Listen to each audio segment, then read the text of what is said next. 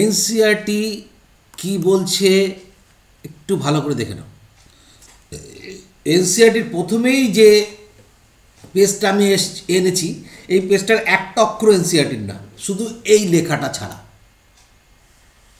Translation বাকি কথাগুলো টোটালটাই তৈরি করা কথা। কি বলছি translation from messenger RNA to protein সংক্ষেপে বলা হচ্ছে ম্যাসেঞ্জার আরএনএ থেকে প্রোটিন তৈরি করাটা হচ্ছে ট্রান্সলেশন ট্রান্সলেট মানে কি?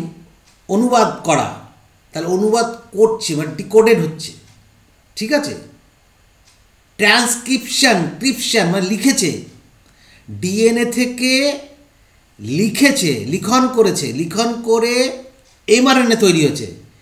এবার সেই এমআরএনএ মেসেঞ্জার সে কী করছে? ট্রান্সলেট করছে, অনুবাদ করছে। অনুবাদ করে আলটিমেট রেজাল্ট প্রোটিন ঠিক আছে? Clear in the translation process a polypeptide is form polypeptide nothing but the কী হবে? অ্যাকুমুলেশন অফ অ্যামাইনো অ্যাসিড ঠিক আছে? তাহলে accumulation amino acid that is polymerization of amino acid clear হয়েছে? নেক্সট যেটা বলা হচ্ছে কি? দ্য ইনফরমেশন, ভালো করে বোঝো, ইনফরমেশন এনকোডেড এনকোডেড হয়েছে ইন দ্য ডিএনএ। প্রথমে ডিএনএতে এনকোডেড হয়েছে। এবং সেই এনকোডেড করাটাও আরেকটা জিন বলে দিয়েছে। Is transferred to messenger RNA যে সংবাদটা, যে ইনফরমেশনটা এনকোডেড ছিল ডিএনএতে, সেটা মেসেঞ্জার আরএনএ সে ট্রান্সফার হচ্ছে মেসেঞ্জার মেসেঞ্জার আরএনএ নিয়ে নিল। এবার সেই মেসেজটাকে ডিকোডেড করছে by ribosome to produce protein clear একদম সিম্পল কথা। এই বাদিকের ডায়াগ্রামটাকে এই জায়গাটা পড়ি। আমি অনেকবার পড়িয়েছি, দেখো, এই যে থ্রি প্রাইম এটা হচ্ছে tRNA tRNA clover leaf model আর এটা হচ্ছে ফাইভ প্রাইমে তাহলে, আর এই DHU loop DHU loop is এখানে কে থাকে? Amino acyl tRNA synthetase binding site ও এখানে তখন বলতে ভুলে গেছি। আর টি সাইসি লুপ এই টি সাইসি লুপ কোথায় বাইন্ড করে?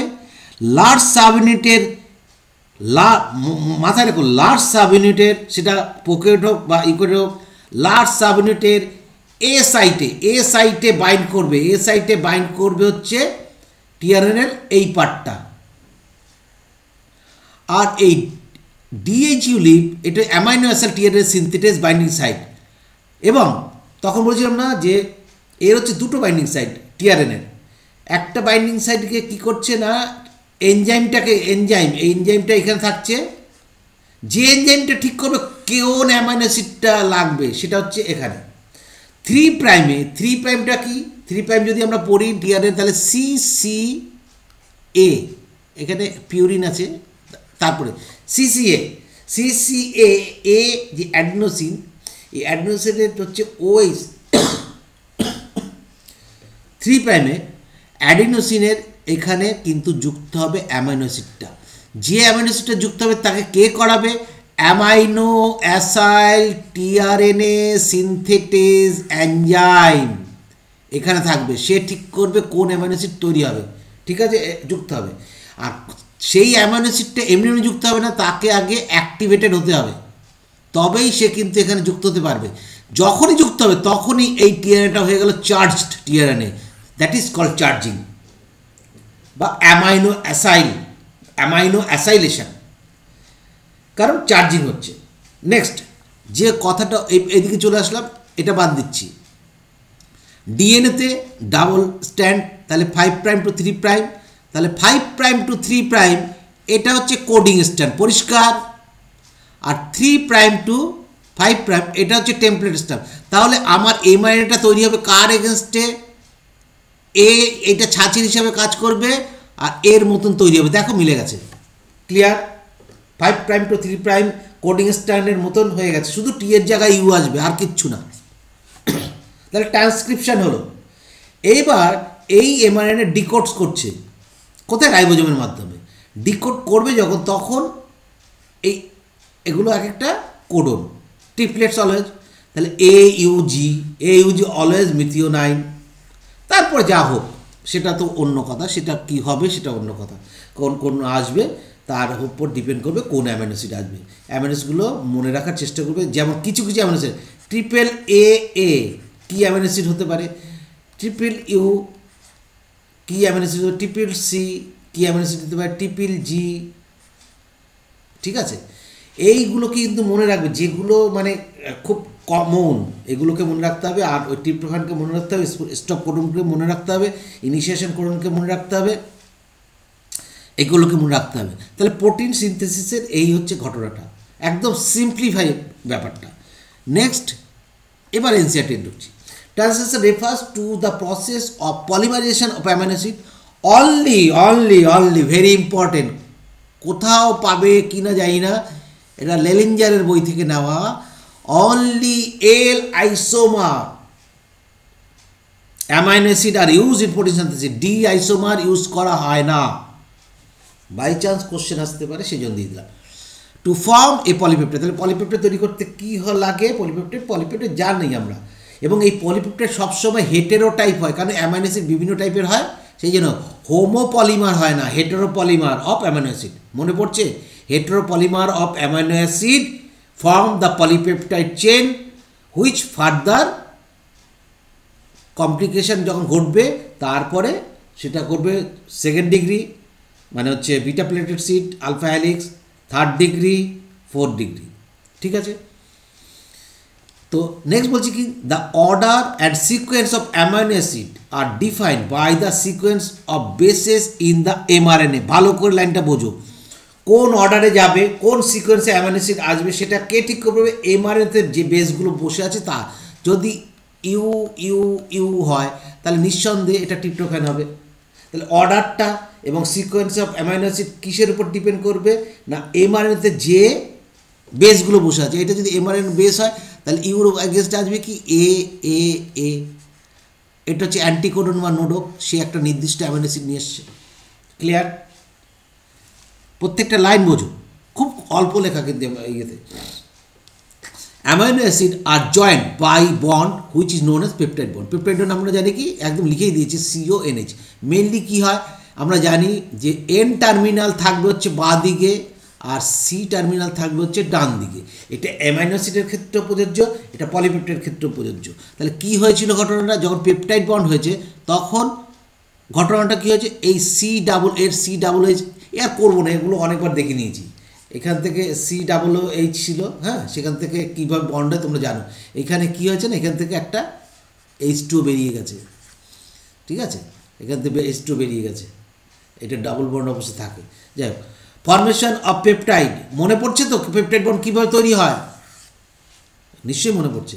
Formation of peptide bond requires energy এখানে দেখো এনসিআরটি এত সুন্দর চালাকি করে বেরিয়ে গেল কথাটা বলে formation of peptide bond requires energy এনার্জিটা কোথার থেকে আসবে?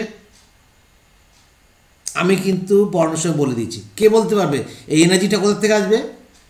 Peptide bond formation of peptide bond requires energy এই লাইনটা তুলে বলল energy comes from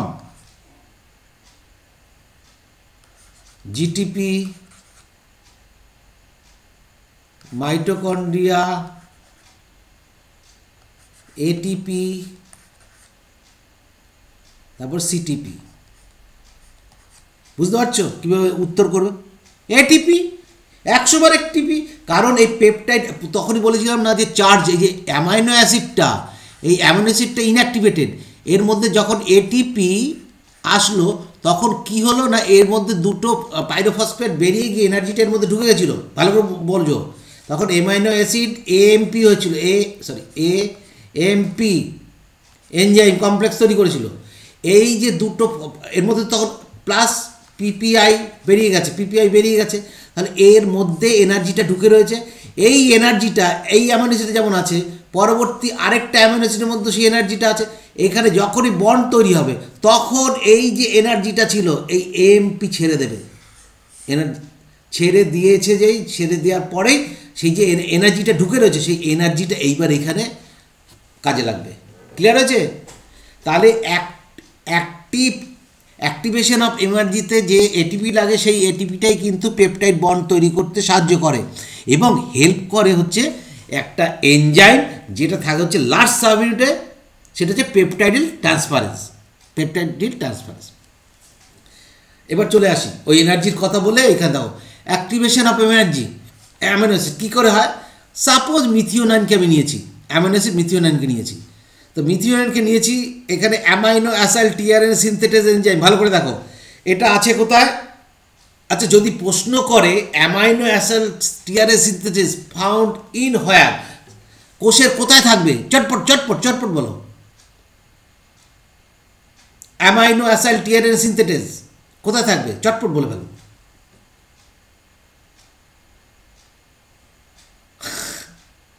ট্রান্সলেশনটা কোথায় হচ্ছে? হ্যালো সাইটোপ্লাজমে তাহলে অ্যামাইনো অ্যাসাইল টিআরএনএ সিনথেটেস সাইটোপ্লাজমেই থাকবে। ক্লিয়ার হয়েছে? সেখান থেকেই নিয়ে নেবে। টিআরএনএ কোথায় থাকবে? সাইটোপ্লাজমে থাকবে। বেশ, আমি যে জায়গাটা আসছিলাম মিথিওন নিলাম এটিপি নিলাম। এটিপি নিয়ে মিথিওনের সঙ্গে ঢুকিয়ে দিলাম। যার ফলে এনার্জিটা ঢোকালাম, তার মানে দুটো পাইরোফসফেট বেরিয়ে গেল। এনার্জিটা তাহলে আলটিমেট কী হলো?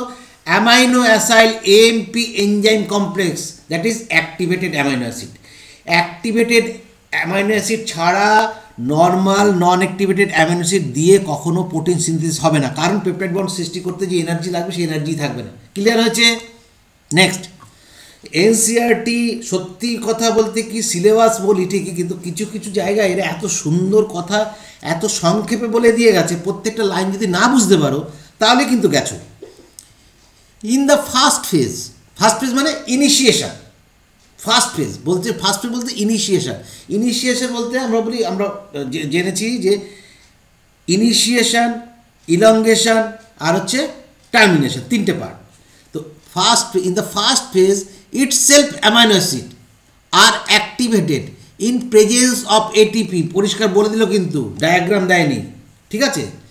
And linked to their cognate tRNA মানে কি? তার সম্পর্কিত, তার সঙ্গে জুজবে তার সঙ্গে মিল যাবে, সেরকম সম্পর্কিত টিআরএনএ যেমন, এমন টিআরএনএ কুড়ি রকমের টিআরএন লাগবে, কুড়ি রকমের অ্যামাইনো নিতে গেলে, তাহলে মিথিওনাইন যে টিআরএন নেবে ফিনাইলামেলাইন অন্য টিআরএন নেবে। তাহলে কগনেট টিআরএনএ মানে কি? অ্যাপ্রোপ্রিয়েট টিএনএ টিআরএনএ কার কার পরিপ্রেক্ষিতে না কোন অ্যামাইনো অ্যাসিডটা নিচ্ছে তার উপরে। তাহলে এই অ্যাক্টিভেটেড যখন হলো এটিপির দ্বারা, তারপরে কগনেট টিআরএনের মাধ্যমে সে নিল। The process commonly call charging দেখো, কত সংক্ষেপে কতটুকু কথা বলে দিল। চার্জিংটা এত সরাসরি তো হয়নি। চার্জিং হয়েছে কি? প্রথমে অ্যাক্টিভেশন অফ অ্যামার্জি যে অ্যামাইনো হয়েছে। অ্যাক্টিভেশন অফ অ্যামাইনোজি হওয়ার পরে তো চার্জিং হবে। তো এইখানে বলছি প্রসেসটাকে একসঙ্গে লিখে দিল charging of tRNA or aminoacylation তাহলে দুটো কথা charging of tRNA or aminoacylation of tRNA to be more specific মানে মেনলি বলতে গেলে অ্যামাইলো অ্যাসাইলেশন টিআরএনএ এই কথাটা হচ্ছে। তাহলে কি হয়েছে? প্রথমে অ্যামাইনো অ্যাসিড অ্যাক্টিভেশন হলো নেক্সট হচ্ছে চার্জিং হচ্ছে। চার্জিংটা কী করে হলো? এই যে চার্জিং চার্জিংটা দেখো, ওই ওই ওই লেখায় তুমি কিন্তু পুরোটা বুঝতে পারছ, তুমি এখানে বুঝতে পারছ। Transfer of amino acid to tRNA তারপরে চার্জিং হবে। কী করা হচ্ছে? ওখানে মিথিওনাইন নিয়েছিলাম, তাহলে অ্যামাইনো অ্যাসিড মিথিওনাইন তোমরা বুঝতে পারবে না বলে পুরো নামটা লিখে, এটা মিথিওনাইন লেখে না, এটা মেট লেখে। অনেকে এই নোট দেখে বলবে, মাস্টারমশাই তো ভুল লিখেছে। লিখতে হয় মেট মাস্টারমশাই কেন মিথিওনাইন লিখেছে? কারণ তোমাদের জন্য, তোমরা যাতে বুঝতে অসুবিধা না হয়। Amino acid, methionine AMP enzyme complex, ঠিক আছে? হ্যাঁ কি না? সামনেটা দেখো। এইখানে, এই যে এটা, এনজাইম কমপ্লেক্স এমপি সেটাই এখানে amino acid, methionine AMP complex. এবার আমি টিআরএনএকে দিচ্ছি। মানে মেট, মিথিওনাইন যেহেতু সেই জন্য মেট টিআরএনএ ক্লিয়ার? অনেকে বলে যে M M amino acid met আবার টিআরএনএ মেট কেন? অ্যামাইনো অ্যাসিড যেটা মিথিওনাইন তার জন্য নির্দিষ্ট টিআরএনএকে বোঝাতে মেট কথাটা লেখা হয়। ঠিক আছে? তাহলে সেই মেট টিআরএনটা নিল, এই অ্যামাইনো অ্যাসিডটিকে নিল, তাহলে তৈরি হলো কি? Amino acid methionine T tRNA met তাহলে বেরিয়ে গেল কি কি? বেরিয়ে গেল এএমপি বেরিয়ে গেল, এবং এনজাইমটা বেরিয়ে গেল। তাহলে এই দুটো বেরিয়ে গেলো অ্যামাইনো অ্যাসাইল টিআরএনএ, সিনথেটেসটা বেরিয়ে গেল। তাহলে পরে রইল কি? টিআরএনএ চার্জিং হলো। কার দ্বারা? অ্যাক্টিভেশ, অ্যাক্টিভেটেড অ্যামাইনোসিডের দ্বারা। Okay, next. ইফ টু সার্চ চার্জ টিআরএনএ, এরকম দুটো। ওয়ান আর এই টু। এরকম চার্জ টিআরএনএ। এটা মনে করো অ্যান্টিকোডন। কি বলছে? সবসময় এরকম একে বোঝো। বলছে টু সার্চ চার্জ টিআরএনএ এটা চার্জ টিআরএনএ কারণ এখানে অ্যাক্টিভেটেড অ্যামিনোসিড যুক্ত হয়েছে, এটাও অ্যাক্টিভেটেড অ্যামিনোসিড যুক্ত হয়েছে। টিআরএনএ আর ব্রড ক্লোজ এনাফ খুব কাছাকাছি আসছে। কখন, কোথায় আসবে না রাইবোজমের কাছে আসবে এমআরএনের পাশে। The formation of peptide bond between them would be favoured energetically clear হলো? তার মানে এটা যখনই পাশাপাশি আসবে, এদের দুজনের মধ্যে পেপটাইড বন তৈরি হবে। তো পেপটাইড বন্ড কীভাবে তৈরি হয় সেটা আমরা জানি। তাহলে এইখানে একটা নিশ্চয়ই এমআরএনএ ছিল থাকবে, তার এখানে থাকবে হচ্ছে তোমার কোডন এখানেও কোডন এটা গ্যাপ পড়ে গেছে গ্যাপ তো থাকে না গ্যাপ কোনো দিন গ্যাপ থাকে না, যাই হোক। তাহলে এই এই কথাটাই কিন্তু এই- এই জায়গাটা বোঝানো হলো। নেক্সট প্রেজেন্স অফ ক্যাটালিস্ট ক্যাটালিস্টকে যে এনজাইম এখানে আমি লিখে দিলাম পেপটাইডিল ট্রান্সফারেজ এটা একটা ribozyme present on the P site of large ribosomal subunit that is twenty three S ribosome RNA. In case of prokaryote, 23S ribosomal RNA. In case of eukaryotes, 28S. In case of eukaryotes কত হবে 28S মনে দেখে যেন। আর R N আর R N ঠিক আছে? তাহলে এটা মনে রাখতে হবে, এটা টোয়েন্টি থ্রি এস কোথায় থাকে? পেপটাইডাল ট্রান্সফারেজ থাকবে হচ্ছে পি সাইটে পি সাইট হচ্ছে মাঝখানের সাইড লাইফ লার্জ সাব ইউনিটের এবার লাইনটা পড়ি। প্রেজেন্স অফ ক্যাটালিস্ট এনসিআরটি কী বলছে? তা কত কমে বলছে? Present of catalyst would enhance the rate of peptide bond formation আর কিছু বলেনি। কিন্তু তুমি শিখে গেলে কোথায় থাকে, কে করে।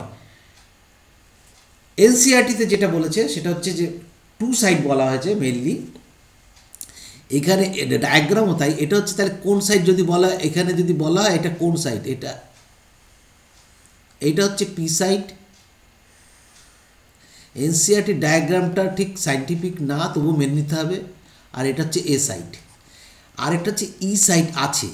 যাই হোক মেইনলি পি সাইড যদি টু সাইড বলেছে, তাহলে পি সাইড এবং এ সাইড তাহলে এ সাইড হচ্ছে এন্ট্রি সাইড আর এটা হচ্ছে এক্সিট সাইড এখানে, এটা হচ্ছে এমআরএনএ এমআরএনএতে পরপর পরপর অ্যান্টিকোডনের মাধ্যমে টিআরএনএ চার্জ টিআরএনএগুলো পাশাপাশি যুক্ত হচ্ছে এবং এইটার সঙ্গে এটা পেপটাইড বন্ড তৈরি হচ্ছে এবং এইখান থেকে একটা ফারো থাকে, ফারোর থেকে এরকম বেরিয়ে যায় পলিপেপটাইডটা হুম?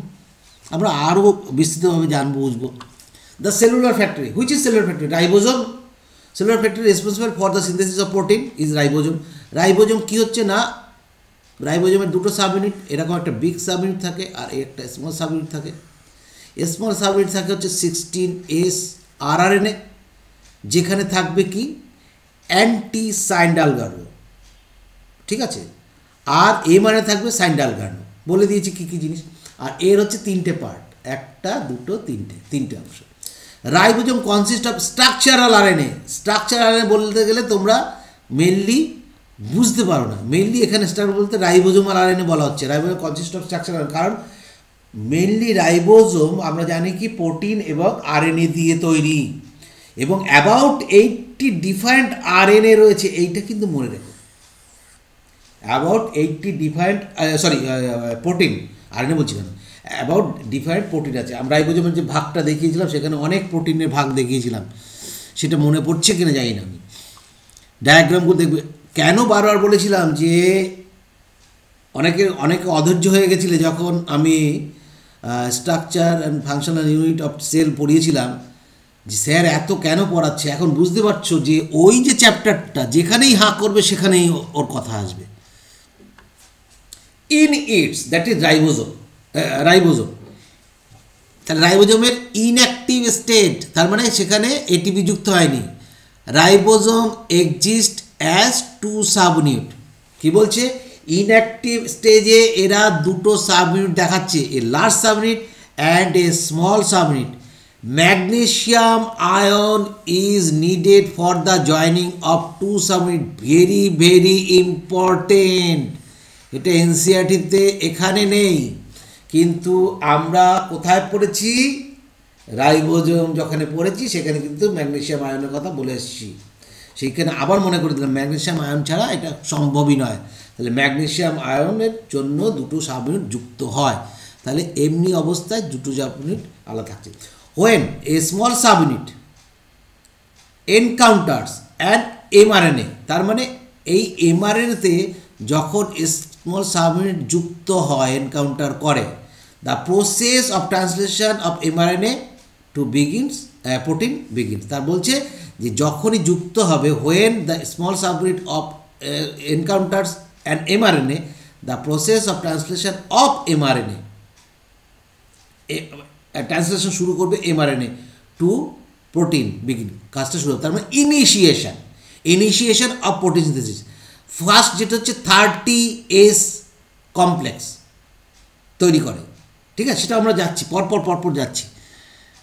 নেক্সট হচ্ছে কি? There are two side in large subunit বলছি লার্জ সাবউনিটে দুটো সাইড আছে।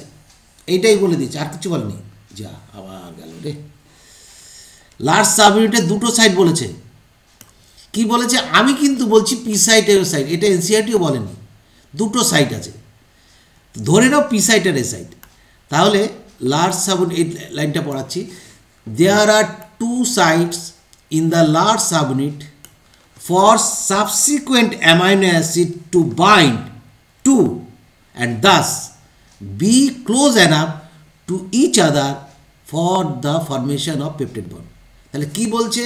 পেপটাইড বন্ড ফর্মেশন করবে কোথায়? লার্জ সাবইউনিটে যার দুটো সাইড আছে। মেইনলি পি সাইটে পেপটাইড বন্ড ফর্মেশন হবে। মেইনলি কোনটাতে হবে? পি সাইটে পেপটাইড বন্ড ফর্মেশন হবে।